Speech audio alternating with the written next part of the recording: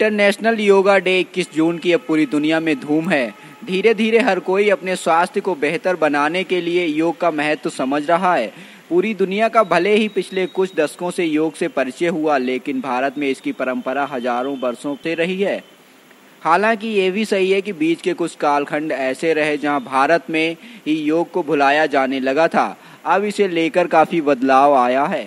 योग और भारत के इसमें योगदान को दुनिया समझने लगी। आइए योगा इंटरनेशनल डे के इस मौके पर हम आपको योग के पूरे इतिहास के बारे में बताते हैं और साथ में जानते हैं कि भारत में इसकी शुरुआत कब और कैसे हुई। योग एक ऐसी कला है जिसमें मन और शरीर में सामंजस्य बैठाने का अभ्यास किया जाता है। इसे आप एक तरह का विज्ञान भी कह सकते हैं। जो स्वस्थ जीवन के लिए ज़रूरी है। योग शब्द दरअसल एक संस्कृत के युज शब्द से आया है, जिसका मतलब होता है जोड़ना। योग के जानकारों के मुताबिक इस अभ्यास से मन और शरीर, व्यक्ति और प्रकृति के बीच जुड़ाव की कोशिश होती है। योग का मकसद ज़िंदगी से जुड़े हर क्षेत्र को आसान बनाना और स्वास्थ्य जीवन की ओर ले जाना। योग का सटीक इतिहास नहीं मिलता, लेकिन हिंदू धर्म ग्रंथों वेदों, यहाँ तक कि सिंधु घाटी की सभ्यता से जुड़ी कलाकृतियों में भी ऐसे प्रमाण हैं, जो योग के उस समय भी मौजूदगी को साबित करते हैं। हिंदू मान्यताओं के अनुसार योग की शुरुआत का इतिहास हज़ारों साल पुराना है। योग से जुड़े कुछ जानकार तो भगवान शिव को पहले योगी या आदि योगी मानते हैं। शिव को पहला गुरु या आदि गुरु भी कहा जाता है। हज़ारों साल पहले हिमालय पर्वत के बीच कांति सरोवर झील के किनारे आदि योगी ने योग से जुड़े इस ज्ञान को सप्त ऋषियों को बताया। इसके बाद इन ऋषियों ने इसे दुनिया के विभिन्न जगहों में पहुँचाया।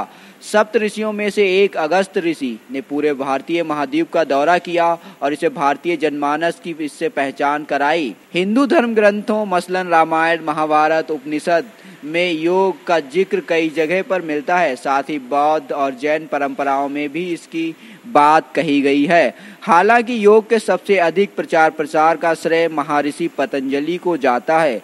महर्षि पतंजलि ने योग की प्रक्रिया को व्यवस्थित किया और इसके महत्व को व्यापक तौर पर दूसरे ऋषियों और योग गुरुओं को समझाया।